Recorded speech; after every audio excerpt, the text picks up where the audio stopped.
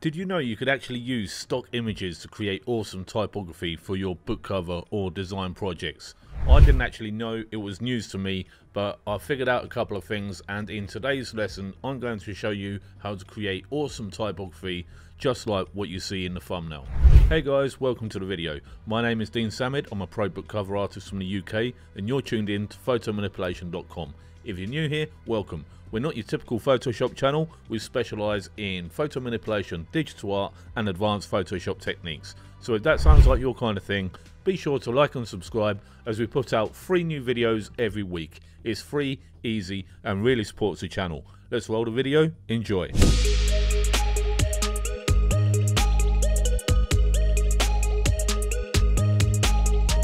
So this trick I found literally purely by accident. I was looking for some things on Adobe Stock and I saw these really awesome uh, typography kind of alphabet layouts and I thought ah I'm not familiar with some of these typefaces I, I don't think I'm not sure if they're available as downloadable fonts but when you're creating titles for book covers or design projects you only need a couple of letters. So in this tutorial, I'm going to show you how to take these stock images and use them for a design project and create awesome type just like the title says.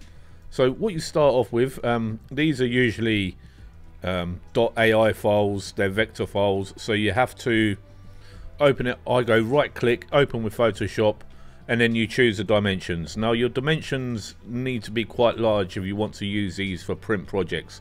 So for this particular image, I opened it up at 200 centimeters. I'm in Europe, so we use centimeters.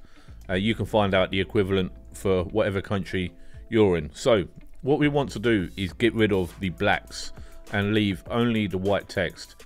So I'm going to hide that layer and I'm just going to fill the background um, I'm going to create a dedicated layer filled with black. The way that I filled that was select all command and A and then fill with foreground color that is alt and delete.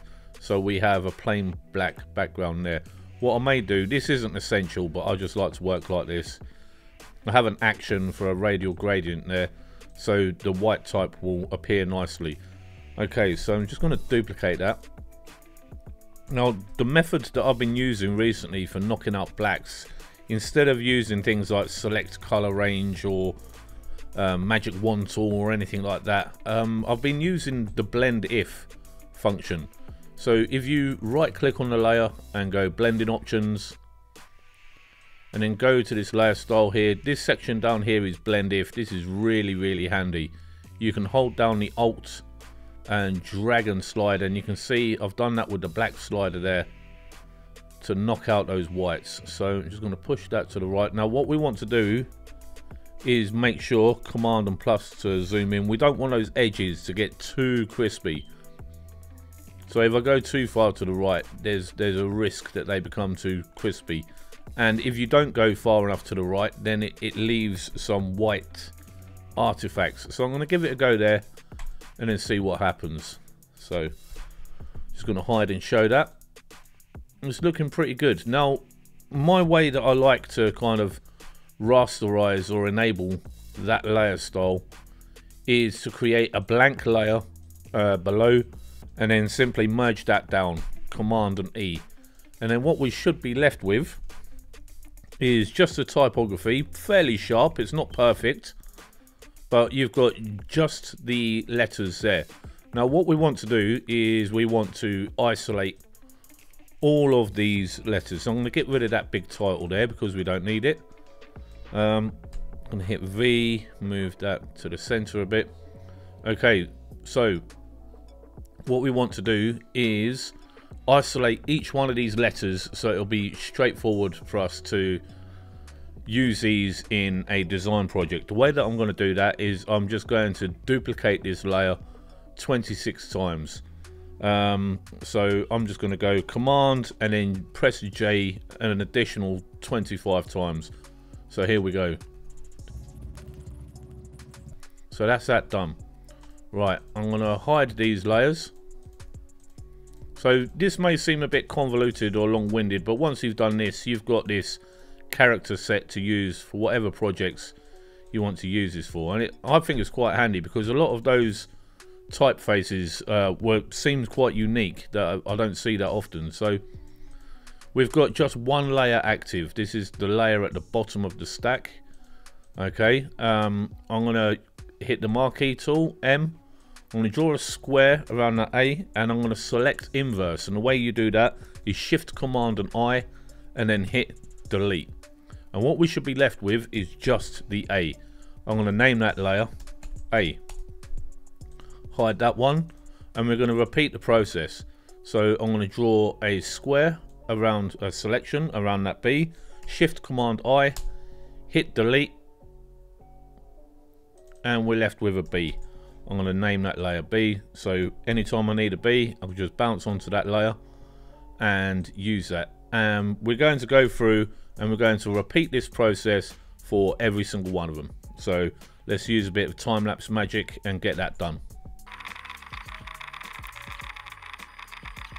Okay, bish bash bosh, easy does it. That only took a couple of minutes, but the hard work is done now. Um, all of these letters are now on an individual layer and if I wanted to construct a word or title I could easily put that together um, by duplicating these letters. Uh, something handy at this stage that you can do is hit V and on the move tool at the top left here on the option select auto select so I'm going to write the word awesome now because auto select is active I could click on any one of these and duplicate it as I need so I'm going to select the A and I'm going to go Command J and move that. And you can see the A copy there. Um, I'm just going to move that up there. Now I'm not putting these guys into a layer group because um, if these elements are in a layer group you can't use auto select. It will just select the whole group. So we've got the A. I'm going to go for the W now. Command J that and bring that up next to this guy. So I'm keeping all of those copies up there so I know they're separate from the main alphabet. I'm to go for E and bring that up there. Move that. And then repeat that process for the S, O, M and E. So here we go. Okay, so we have our jaggedy looking awesome type here at the um, upper top left. Let's zoom in a couple and see what's going on. Okay, so we've got awesome here. Of course, this isn't aligned. A very fast thing you can do is have either the top or the bottom layer active. Hold down shift, click so the entire word is selected.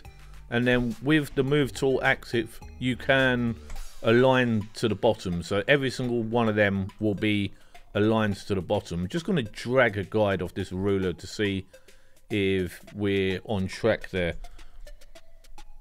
So you see some descends a little bit more than others. At any at any point, because we've got the auto select on the move tool, we could just click on it. So I'm just going to get the bottom of every letter to just be on that guide so it's kind of aligned. It's better than it was before. The first kind of aligned to bottom, got them all roughly in the same area.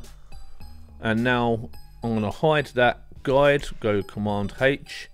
I'm going to click on each individual letter and just position it. I want a nice little bit of breathing room between each one. So I believe the horizontal spacing in typography is called tracking and the vertical spacing between rows is called leading. So I'm just um, manually amending the tracking here. Because these are pixel based letters, I'm just treating these as if there was each an independent layer. So we've got our awesome type there. I'm going to hold down shift and click and select all of them and go command and G and put all of that in a group together and call that awesome. So what can you do with this type? Well, you can mess about, edit and amend in the usual way because it's a layer with pixel information. But what I'm actually going to do is show you how I do my book cover titles now. And that is using actions.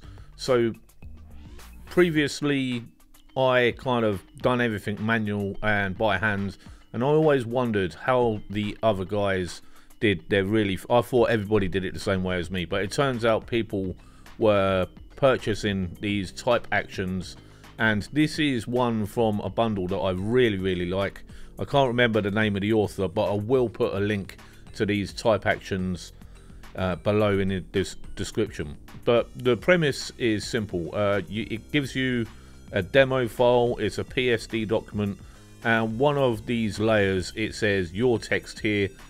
Double click the layer thumbnail. So I'm going to double click that layer thumbnail and then it gives you um, the information that's going to be processed so just the pixel information. So I'm going to remove everything that's in there but before I do that it won't let me delete that last layer because it'll be completely empty. So I'll put our type in there command and I to invert and now it will allow me to delete the other one. I'm going to command T to free transform and I'm just going to scale this up so it fits nicely in there. So I'm going to go enter there got that okie dokie now I'm happy with the positioning I'm going to click the X and I'm going to go save um, it took me a couple of goes to figure this out because I'd never really worked with these types of files before but the amount of time and effort that it saved me doing um, like fancy typography effects of book covers is massive. I, I, really wish I'd got onto this a lot, lot earlier. So I'm just going to get rid of all the other stuff that I don't need. Uh, the kind of demo effects. I'm going to create a new layer. Command A, Alt and Delete to fill that with black. And there you can see the awesome typography for this project created using a stock image. Now, all of those different stock images on the Adobe Stock website, I'm not entirely sure if these are av available as stocks or whether they're just one-off showcases, but I, I, do find it quite interesting and a lot of these are, are really nice looking. So this is a process I'm going to be using for my own design projects and I hope that you found it useful. If you like this content, be sure to like, comment and subscribe because that lets me know that you enjoy this kind of video. So that's it for today team. I hope you enjoyed this one. I know I did. I'll catch you at the next video. See you then.